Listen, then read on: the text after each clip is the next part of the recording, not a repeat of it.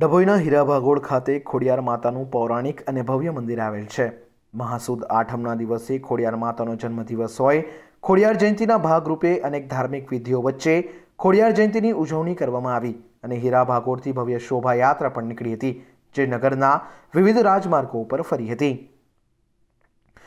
ડભોઈ હીરાભાગોળ ખાતે રાણાવાસ વિસ્તારના પૌરાણિક અને ભવ્ય આઈશ્રી ખોડિયાર માતાજીના મંદિરે મહાસુદ આઠમ ખોડિયાર જયંતિની ઉજવણી કરવામાં આવી હતી.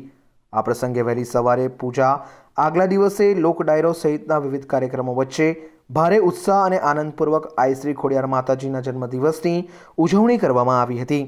જ્યારે ખોડિયાર માતાજી સમસ્ત રાણા સમાજના કુળદેવી હોય, ડભોઈ સહિત ચોવીસ ગામ રાણા સમાજના લોકો દ્વારા ખોડિયાર જયંતિ નિમિત્તે ભવ્ય શોભાયાત્રા નીકાળવામાં આવી હતી.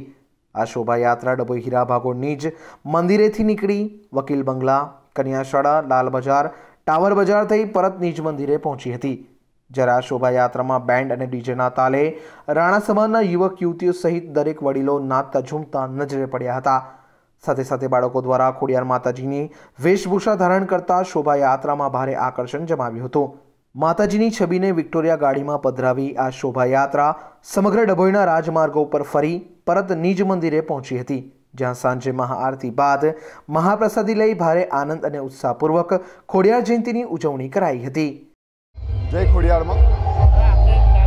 ઈસવીસન સાતમી સદીમાં સૌરાષ્ટ્રના રોહિશાળા ગામમાં મહાસુદ આઠમના દિવસે મામડિયા ચારણને ત્યાં જન્મેલ સાત દીકરીઓ પૈકીની સાતમા નંબરની દીકરી એટલે જાનબાઈમાં, એ જ આપણી ખોડિયારમાં. મહાસુદ આઠમના દિવસે જન્મ જન્મદિવસના દિવસે એમની ખોડિયાર જન્મ જયંતિના રીતે આ ઉત્સવ ઉજવવામાં આવે છે. સમગ્ર ગુજરાતની અંદર ખોડિયાર માતાના ઘણા મંદિરો આવેલા છે. એ પૈકીનું એક મંદિર આપણા ડભોઈ નગરમાં હીરાભાગોળ સ્થિત રાણાવાસમાં આ મંદિર આવેલું છે. અને આ મંદિરમાં સળંગ છેલ્લા સત્યાવીસ વર્ષથી ખોડિયાર જન્મજયંતિ મહોત્સવ આ રીતે ઉજવવામાં આવે છે. અને ડભોઈ રાણા સમાજ સાથે આજુબાજુના ચોવીસ ગામ રાણા સમાજ અને ચોવીસ ગામનું પબ્લિક આ રીતે આ ઉત્સવની અંદર ભાગ લે છે. અને સમગ્ર આ ખોડિયાર જયંતિના દિવસે સમગ્ર દિવસથી આખા દિવસ દરમિયાન અને એના ચાર દિવસ પહેલેથી આખા આયોજન કરવામાં આવે છે આ ઉત્સવનું. અને મહાબંધારો મહાપ્રસાદીનું આયોજન અને નગરની અંદર ભવ્ય શોભાયાત્રા નીકાળવામાં આવે છે. જય માતાજી. ડભોઈથી હિતેશ જોશીની રિપોર્ટ.